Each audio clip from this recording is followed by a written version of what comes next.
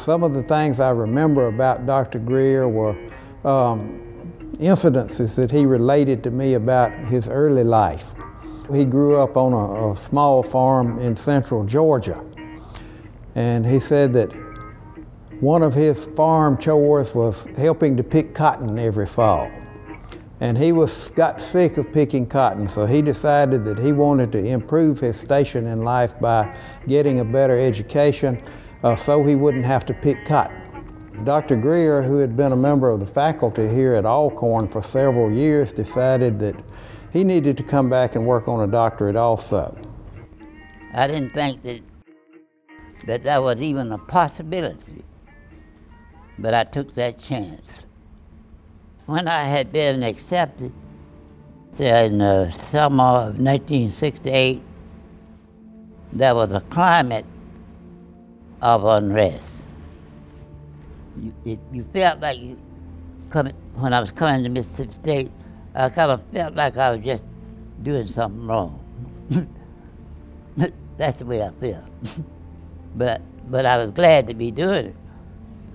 So I was driving my Mustang down Highway 12, coming into Starkville, and there was a car started following me behind me. And I said, oh my goodness, this is it. And I kind of sped up and I said, I'm gonna, if I can make it to where some other folks are, he won't get me. So I made my way to uh, the uh, Alamo Science Building. And I said, I'm gonna pull in here and I know he won't get me. And so when I pulled in there and stopped, he got out too, the one was following. He said, your tie is about flat. And I'm gonna and, he, and he got up and fixed the tire. And from then on,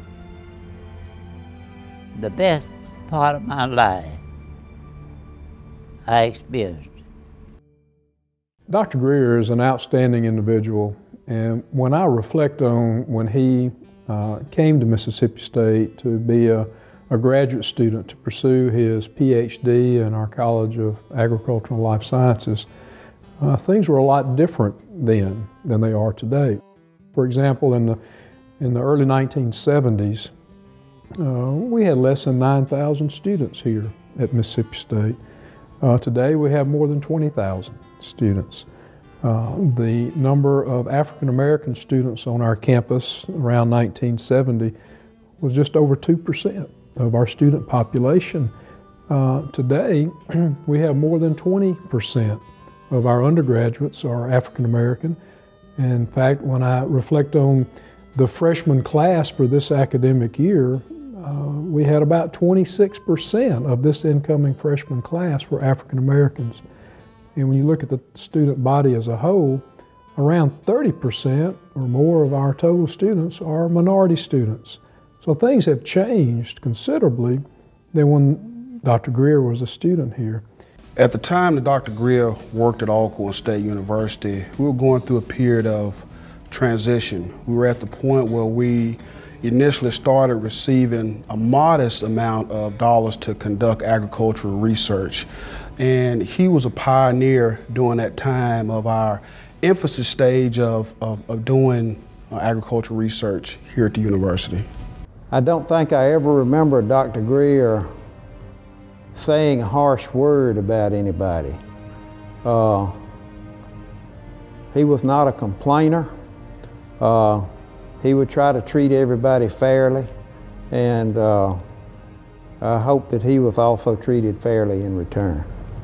Uh, I think Dr. Grier's uh, legacy is uh, being one of those scientists that helped build what we have today here at Alcorn, particularly on the research side. I think he was a trailblazer. I think uh, he, him coming here helped encourage other young students of color to want to come to Mississippi State to take advantage of our open, welcoming, and nurturing environment that we offer here to help young students of color to thrive here on our campus and to succeed and graduate and go off into the world and do well like Dr. Grier has done. And we're very, very proud of him and all that he's accomplished in his very distinguished career. Know what years you, you need to know. You got to know that. you got to know. You got to know there's no excuse. You got to know what it is you need to know. I learned that in Mississippi State. And I learned to speak up and talk